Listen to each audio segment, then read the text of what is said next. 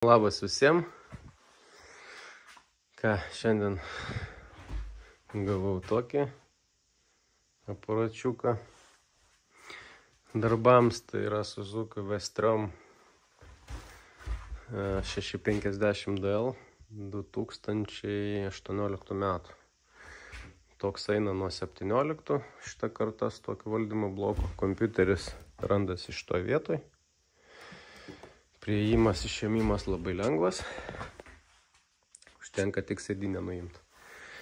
Tai motoras tas pats KSV 650. Atrodo taip. Išmetimas standartinis. Tai čia, kaip suprantate, jeigu dėžėta, aišku, jau toksai miesto kelioninis labiau, nes visas purvinas, murzinas atvažiavo. Žodžiu, tai reikalas yra sureguliuoti, e, nuimti ribotuvus tiek, kiek įmanoma. Šitas motociklas turi tokią sistemą kaip antrinės klendės. Kas nežino, tai yra kaip yra pagrindinės klendės, kai jūs atidarinėjat rankiną, vienos klendės atsidaro ir dar virštų yra dar vienos klendės antrinės. Tai gamintojas dažnai būna priboja motociklus per antrinės klendės. E, Tie, kas liečia galę, tai apriboja būna sklendės, būna kartu kūro sistema, uždegimo sistema, kad viskas dirbtų kombinuotai. Tai, ką norėjau pasakyti, tokios, tokios kalbos dažnai sklando ir internete, ir forumuose, ir čatuose, visur. Išimkim, išimkim tas antrinės klendės, bus viskas atribota, bus viskas super. Taip nebus. Tai iš karto atsiras galios duobės, kas liečia maksimalų galingumą, jeigu tos klendės yra programiškai apribotos, ok, vis, viršui viskas gerai, jūs gausit pilną oro srautą. A, nuo žemų sūkių jos yra įdėtos ne šiaip savo, jos yra įdėtos tam, kad motoras galios perdavimas būtų kuo tolygesnis. Jeigu jūs išėmat sklendės, jum jau nebus taip gerai paskaičiuota, kaip buvo, tarkim, iš gamyklos, ne? Atitinkamas kūro kiekis, atitinkamas oro srautas. Išėmėt sklendės, oro srautas iš karto bus per didelis, kūro bus per mažai, tai tuose vietose būna dažnai atsiranda lagas arba didelės galios duobės. Kas liečia maksimalų galingumą, galimai jūs išloš šitoje vietoje, bet kitose depozonuose pliusų nėra. Tai neverta išiminėti šito dalyko pas, nežinau, turbūt 99 procentus motociklų tas dalykas susiprogramuoja taip, kaip reikia, e, kad jos atsidarinėtų tolygiai, bet, kaip pasakyt, anksčiau ir su didesniu greičiu, negu buvo, tarkim, iš gamyklos, jo. Taip pat ir atribojant galingumus, visus tos dalykus. Tai galios perdavimas gausis tolygesnis, be galios dobių. Čia kas liečia sureguliavimą, turiu menį ant stendo ir panašiai. Tai va, išmetimo nedės greičiausiai. Filtras taip pat standartinis, motociklas rydau kaip ir tokia kelioniniam gal nėra didelė, 46 tūkstančiai, aišku, jeigu nesukta jinai. E, tai va, bandysim kažką išpešti iš jo, kažkiek arkliukų, kūrą pareguliuoti ir taip toliau. Tai motociklas atrodo taip, spidometras.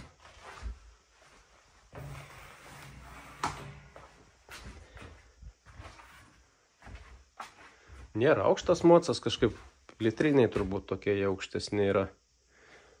Nes pilnai atsisėdus ant stendo užvažiavau be problemų. Su kokiais litriniais ar būna aukštesni mocai, be šansų su kojam žemės nepasiekė šitas, galima sakyti, gana žemas. Tai va čia yra reguliatoriai visokie. Atrodo taip šitas reikalas. Tai va, ką, matuosim, žiūrėsim, ką jisai čia turi. Nu ir ką galima išpešti. Kažkokių stebuklingų didelių skaičių nesitikiu. Svarbiausia pakoreguoti kūrą, kad mocas, žodžiu, kuo, kuo tolygiau jisai važiuotų. Tai va, kol kas tiek. Va, koks garsas išmetimo sta, standartiniam išmetime.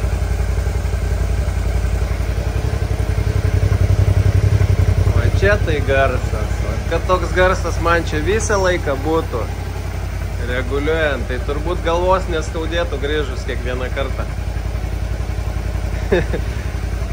Patinka man. Nu ką, paparinka baigtas dirbti. Tai norėjau paprašyti, kas man atvežat kelioninius motociklus, turistinius. Neatvežkit man tokių. E, turiu meni labai purvinų kažkur pakeliui plovyklui galit nupūsti ten su žodžiu, kad man čia nereiktų šluoti 3 valandas paskiau. Tai va, darbas baigtas, aptikau gana įdomių dalykų, e, pavyko šitą išpešti, kai kur labai neblogai.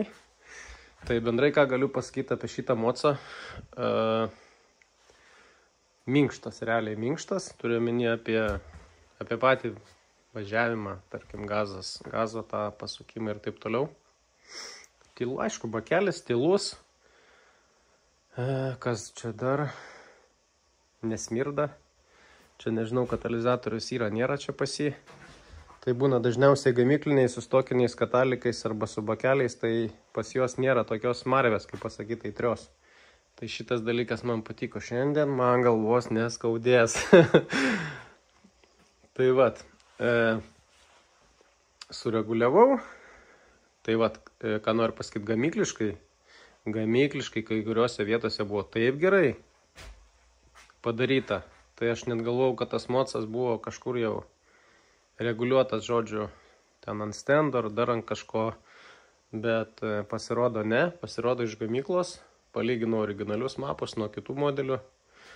Ta prasme, ne nuo kitų modelių, o nuo tokio pačio modelio, bet e, kitais kodais variklio valdymo blokų, originalus mapai. Tai ne. Iš gamyklos tokiniam variante kai kuriuose diapazonuose mišinys pasaka. Tobulas, praktiškai tobulas. Tai vat. Bet vis tiek koreguoti yra kur ir rezultato pasiekti tikrai yra kur. Tai vat kas padaryta.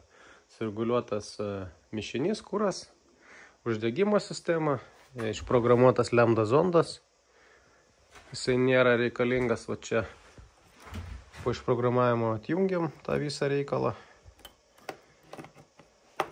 Čia yra band zondas, jisai motociklų nėra reikalingas, jau sakiau ne, ne vieną kartą. Jisai nieko nereguliuoja, jisai tik tai liesina mišinį, kas priveda prie moco tokio grubesnio važiavimo, tampimosi, žodžiu, kaitimo motoro labiau ir taip toliau. Tai vat, pradedam nuo skaičių. Tai va, aibiškai norėjau čia nepareklamuoti tokį, tokį bahuriuką. Žodžiu, pervežinė motociklus, kas yra iš, iš, iš, iš, iš Klaipėdos krašto iš tos pusės. Tai va, aš nežinau, ar tas vaikinas yra iš tos pusės, ar jisai iš kažkokio kito miesto. Bet tai jūs man sutapimas, žmonės kažkaip jį suranda ir būtent va, per jį man atveža motociklus. Tai pririšta saugiai, viskas, nu, viską nufotkina, nufilmuoja tenai, žodžiu, kad nebūtų jokių kasekų ten ir panašiai. Tai galėčiau rekomenduoti, kas esat iš, iš to krašto ir iš kito krašto. Su pervežimu, manau, problemų nebūtų jums. Tai vad. Čia yra maksimalus galingumas. Dugnas, gazas, su stokiniu, žodžiu, ten bakeliu, filtru ir taip toliau. Tai pradedam nuo to. Oi. Oi, oi, oi, oi. Kad gamyklinį, sakau, pratestavau ir žiūriu ir nesuprantu. Galvoju, gal čia pas mane matuoja sensorius blogai, nes matau ekrane tik tai tiesi liniją. tai man buvo kartą užgliučinę sensoriai. Tai irgi nieko nematavo, rodė tiesią tiesią liniją, bet po to baigius testavimus, pradidinus langą, pamačiau, kad ne, viskas čia gerai. Tai maksimaliuose ir biški daugiau negu vidutinėse diapazonuose mišinys toks geras buvo. Praktiškai arti, arti, arti idealo. Reikėjo tik tai šiek tiek padaryti korekcijų. Ir, ir viskas. Čia kas liečia kūrą. Tai va dabar apie skaičius. Maksimaliam galingume buvo stokas 7,4 arklio galios. Tai pikas, kaip matot, praktiškai identiškai yra toj pačioje vietoje. Jisai nepersikelia kažkur į kitą vietą, bet turim nemažų prieaugių kaip tokiam motociklui, tokiam, tokiam stovėje turime konfiguracijai. 8 newtonai. Na, čia man telikas to išsijungs. 8 newtonai. 5 newtonai, žodžiu, nemažai, kaip tokiam modeliui, žinokit, tikrai yra labai nemažai čia. Keturias arklio galios.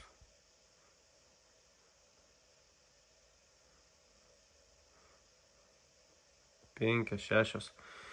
Žodžiu, yra visam diapazone. Pačiam pykė taip pat porą arklių, vienas porą. Bet čia, kaip pasakyti, nesportinis kažkoks variantas. Tai labiau svarbiau yra tai, kas nuo žemų midrenčias. Tai va, dasidėjo tikrai, tikrai nemažai, net kai kurioms britvoms. Būna dasideda mažiau. Tai va, čia yra max gazas, Čia yra viena iš aukštesnių gazo padėčių, daugiau negu pusė gazo, taip galima pasakyti. Tai mišinys, koks gamyklinis mišinys. Nusakau, aš nustebęs esu. Taip normos ribuose viskas. Tai šitam diapazone būtent nepavyko praktiškai nieko čia išgauti. Čia yra vienas arklys, pora, oi, vienas newtonas vienas arklys. Šitam diapazone skirtumo nėra, tik tai, kad bus pakoreguotas kūras ir, ir mocas, ta prasme, švelniau šiek tiek važiuos. Tai va, būtent va, tik šitam diapazone absoliučiai neišėjo nieko praktiškai pridėti. Tai einam toliau. Tai va, čia yra tikras, tikras vidutinis gazas, kaip pasakyti. Midrange vadinamas. Tai va, dasidėjo tikrai labai neblogai. Kiek čia tų newtonų? 7, 8, 7, 8 newtonai. Tai čia galo galite realiai nežiūrėti nuo tos vietos, kadangi jūs nelaikot atsukę pusę gazo ir nelaukiat, kol jums motociklas užvinios ten, tarkim, iki 10 tūkstančių. Čia nėra taip, kaip su pilnu gazo atsukimu. Čia biški yra kitoks, kitokia fizika, kitoks efektas. Jūs tokiuose diapazonuose labai dažnai juntama yra nu, daugiau negu iki vidurio kažkur. Tai priklausomai kuriam diapazone ten numesit pavarą arba pakelsit pavarą, turiu minį viršų. Tai va, dasidėjo 3, 4,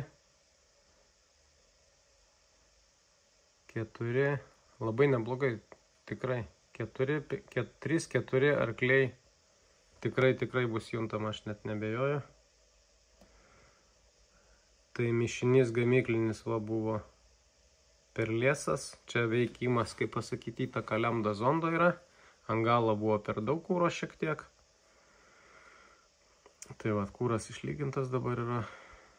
Žodžiu, nedaug čia korekcijų reikėjo vidutiniam tam diapazone, bet vat, abiejose galuose reikėjo pataisyti. Ir tie visi, kaip pasakyti, pataisimai davė tikrai neblogą rezultatą. Tai čia yra viena iš mažų gazo padėčių. Labiau kruizinimas toksai, kaip pasakyt, mieste kažkur ir panašiai. Tai vad gamyklinis mišinys. Vat irgi čia lambda zondo įtaka yra. Per, per liesas mišinys. Tai va po korekcijos taip pat 9, 15 keturi, trys, newtonų dasidėjo taip pat, šeši newtonai, žodžiu neblogai tikrai. Tai va, toks reikalas su šituo aparatu.